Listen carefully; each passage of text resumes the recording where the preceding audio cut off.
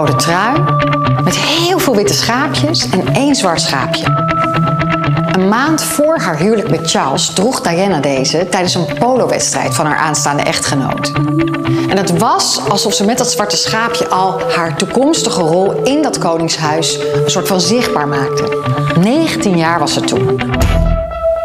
Het Kunstmuseum in Den Haag organiseert deze grote tentoonstelling gewijd aan de Britse mode, waarin we zien dat traditie centraal staat en er veel ruimte is ook voor de rol van het Koningshuis.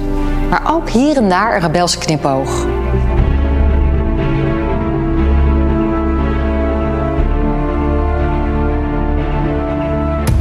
In Avotros nu te zien verlaat een museumdirecteur zijn of haar eigen museum om een bijzondere tentoonstelling te bezoeken. Vandaag is Margriet Schavenmaker, artistiek directeur van het Amsterdam Museum in Het Kunstmuseum in Den Haag bij de tentoonstelling Royals and Rebels. Nu te zien. Het meest rebels waren waarschijnlijk de jaren 80. Middels muziek, maar ook mode werd kritiek geleverd op de klassenmaatschappij, de grote verschillen tussen arm en rijk. Gescheurde kleren, veiligheidsspelden, hanenkammen hoorden daarbij.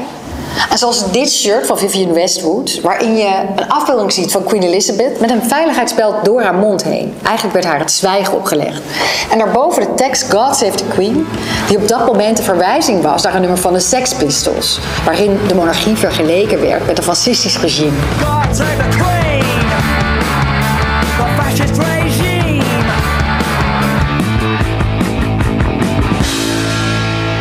Westwood werd een van de meest toonaangevende Britse modeontwerpers. En haar uitspraak dat je eigenlijk geen enkele traditie overboord kunt gooien, doet ze elke keer weer recht aan.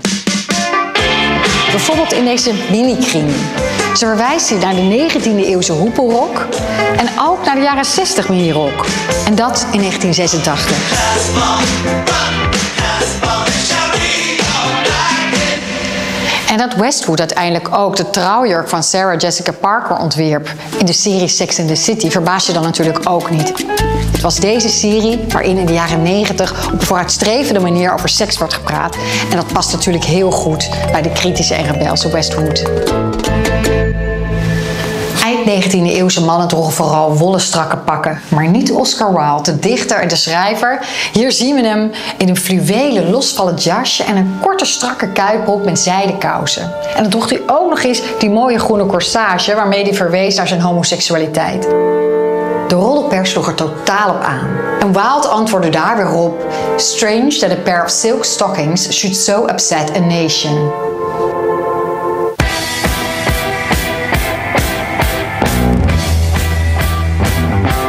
De trenchcoat is eigenlijk niet meer weg te denken. Niet in Engeland, maar in heel de wereld niet. Oorspronkelijk ontworpen voor Britse soldaten in de Eerste Wereldoorlog. Trench betekent ook loopgraaf. Maar hedendaagse ontwerpers maken er 100 jaar later nog waanzinnige variaties op.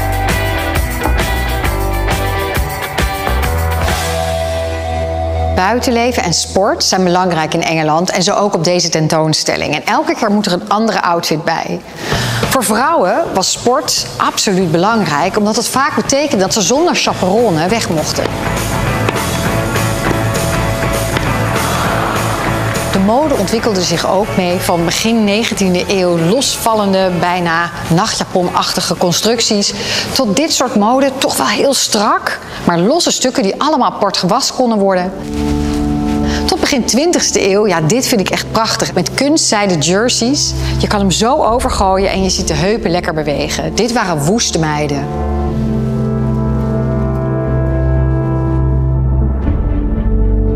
Voor modeontwerpers is het natuurlijk geweldig om te ontwerpen voor het Koninklijk Huis. Met al hun rituelen en media-optredens.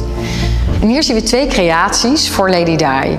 Een prachtig pak wat Lagerfeld ontwierp voor Chanel. Maar ook Catherine Walker, die meer dan 500 ontwerpen heeft gemaakt in haar leven. Waaronder dus deze prachtige cocktailjurk.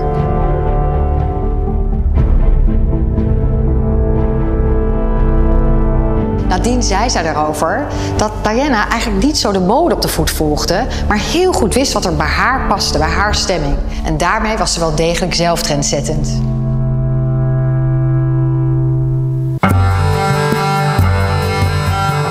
De Schotse ruit, de tartan, werd enorm populair in de 19e eeuw door koningin Victoria. Ze kleedde zich erin, maar richtte ook haar Balmoral zomerkasteel, de Schotse hooglanden, van top tot teen in met deze ruit. En iedereen volgde haar. Op dat moment stond hij voor het buitenleven en dat was in het geïndustrialiseerde Engeland iets om echt naar terug te verlangen. Hij is eigenlijk nooit meer weg geweest, die tartan. Ook eind 20e eeuw werd het een symbool van verzet, van anarchie. En ook nu, in een circulaire cultuur en met aandacht voor hergebruik, is er tartan ook weer heel veel terug te vinden. Dat de kilt ook goed gebruikt kan worden voor genderdiverse ontwerpen, laat de Engelse Charles Jeffrey Loverboy zien. Maar ja, dat een Schots geruite rok gedragen kan worden door mannen, dat wisten die Schotten natuurlijk al lang. Klassieke tradities, maar ook koninklijke tradities, worden heel mooi getoond hier op deze tentoonstelling als iets wat niet verdwijnt, maar elke keer op een andere manier weer wordt meegenomen naar het heden. En ook vanuit kritische perspectieven. Wat ik wel een beetje miste, is de tegencultuur, de zwarte tegencultuur, de hip-hopcultuur, streetcultuur, die ongelooflijk veel invloed heeft, niet alleen in Engeland, maar ook internationaal. Misschien een idee voor een volgende tentoonstelling. Royals and Rebels in het Kunstmuseum Den Haag